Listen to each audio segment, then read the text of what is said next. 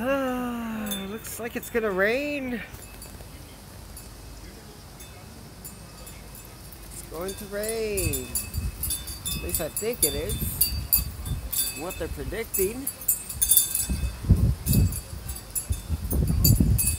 Alright, so I hightail my fucking ass inside.